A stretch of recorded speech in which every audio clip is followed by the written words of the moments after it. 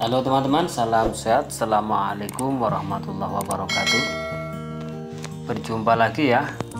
Pembahasan saya kali ini mengenai mesin babat rumput atau mesin potong rumput teman-teman. Mesin ini eh, sudah berapa tahun ya? 2009, 2012, 13 tahun ini teman-teman. Mesin ini sudah berumur 13 tahun ya. Yang tentunya banyak sekali hal-hal yang pernah saya alami. Di antaranya hari ini saya akan berbagi tentang bagaimana jika mesin potong rumput ini saat kita buat untuk bekerja ketika kita hidupkan kita gas itu bergetar di bagian setiknya ini teman-teman. Ya. Ada banyak hal yang perlu kita pahami ya khususnya bagi teman-teman yang masih pemula juga. Oh ya nanti untuk teman-teman lain yang mungkin punya pengalaman yang berbeda eh, bisa ditambahkan di komen ya teman-teman. Jadi kita bisa saling berbagi buat teman-teman yang lainnya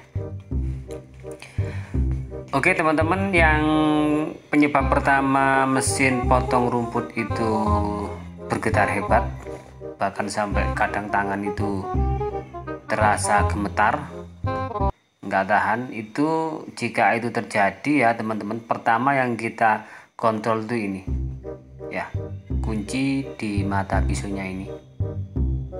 Itu kita cek itu biasanya yang terjadi kurang pas saat pemasangan ring di bagian dalam. Jadi hal ini sepele ya teman-teman, tapi kadang-kadang kita, kita karena terburu-buru jadi nggak teliti, bisa terjadi juga ini. Jadi pertama yang kita cek ini dulu. Nah saat memasang seperti ini jangan sampai miring kayak gini. Ini belum masuk 100% kan ini. Nah, nah harusnya gini, rapat dan kita posisikan juga juga tetap keadaan eh, seperti itu ya. Jangan ketika mau memasukkan ring sama bautnya itu jangan sampai pada saat posisinya itu dimiringkan. Jadi supaya nggak nggak seperti ini ini bisa miring kayak gini. Ini belum pas ini. Nah harusnya gini rapat kayak gini ya. Nah baru kita pasang ring dan tentunya bautnya ini teman-teman. Sampai kencang. Dan saat mengencangkan usahakan posisi tetap seperti ini. Jangan sampai dimiringkan kayak gini.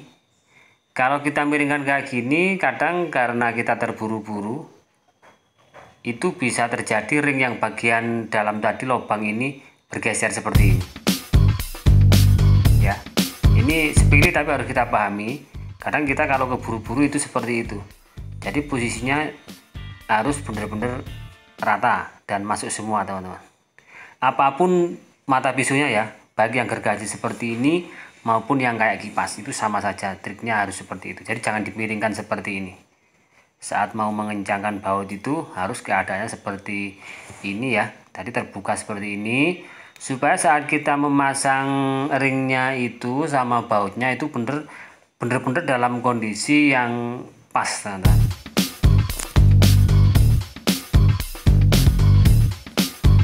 e, seperti itu ya. Ini ini trik pertama yang harus kita pahami. Ini sangat sepele tapi terkadang kita lengahnya di sini. Saat kita mau keburu mau selak bekerja. Nah begitupun ketika kita pakai mata pisau yang kayak kipas gini. Nah ini seandainya kipas ini yang saya tunjuk ini rompang ya patah. Maka sebelahnya ini juga harus kita imbangi. Jadi kita gerinda supaya berat antara sebelah kanan dan kiri ini itu berimbang. Ya jadi berat kanan kirinya ini berimbang. Kita usahakan seperti itu. Jadi kalau ada yang patah sebelahnya pun harus kita gerinda untuk mengimbangi. Jika kita memakai mata pisau yang seperti kipas kayak gini teman-teman apalagi kalau sampai salah satu bagian muntir itu harus kita ratakan kembali memakai e, palu dengan landasan kayu atau besi juga nggak apa-apa. Jika kita pakai yang jenis kipas kayak gitu. Ini trik eh, yang pertama ya teman-teman ya. Kalau yang kedua yang saya tunjuk ini ini di bagian L nya ini ini kan ada lahernya di dalam. Itu bisa juga bergetar karena lahernya itu sudah kocak. Mata pelor lahernya sudah kocak. Sudah rusak waktunya harus diganti karena terlalu longgar. Itu juga bisa. Nah solusinya eh, bukan solusi ya maksud saya itu eh, cara mengetahuinya adalah ketika kita putar mesin ini suaranya kasar terus kemudian tiba-tiba berhentinya itu langsung berhenti.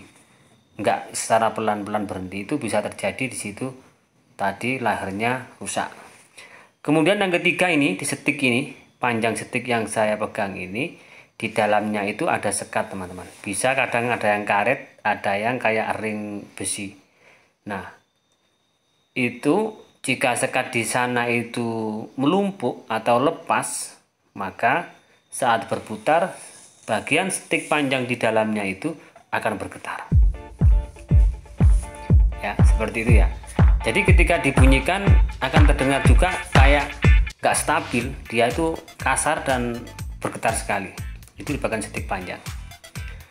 Kemudian yang selanjutnya, mesin potong rumput bergetar itu ada juga yang disebabkan di bagian yang saya tunjuk ini, yang dimasuki seling fleksibel ini, itu lubang segi empatnya itu sudah rusak atau sudah terlalu longgar. Itu juga bisa menyebabkan mesin rumput ini bergetar. Baik yang di bagian penyambung stick panjang ini yang longgar bisa juga di bagian pangkal di sebelahnya eh, kampas teman-teman yang di sini. Nah di sini juga bisa. Jika di situ ada yang longgar juga bisa bergetar. Tapi ini sangat jarang sekali kalau yang ini teman-teman. Nah kemudian juga selanjutnya ini yang saya tunjuk ini seling fleksibelnya ini jika saat mengganti misalkan baru diganti ya itu terlalu panjang sehingga saat memasukkan itu agak sulit.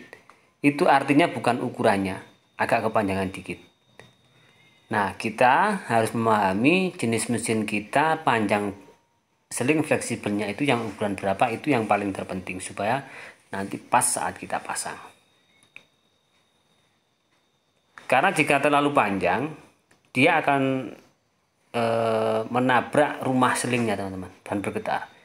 Nah, kalau punya saya ini tipe 328 ya. Ini panjangnya biasanya 84 cm untuk seling fleksibel. Jadi jika kita nggak memahami tentang tipe mesin mending kalau kita mau ganti seling fleksibel ini kita ukur teman-teman. Yang sudah rusak atau yang sudah terpotong itu kita ukur pakai benang atau tali rabia kalau kita nggak punya meteran kemudian untuk kita bawa ke toko spare partnya mesin potong rumput sehingga nanti nggak terjadi kesalahan. Baik teman-teman sekalian eh, seperti itu ya review saya pengalaman tentang mesin potong rumput yang bergetar dan jika teman-teman punya tambahan pengalaman yang lain eh, bisa di komen ya untuk saling berbagi dengan teman-teman yang lain. Oke terima kasih ya sudah menyaksikan video ini. Sampai berjumpa kembali di video-video yang lainnya. Assalamualaikum warahmatullahi wabarakatuh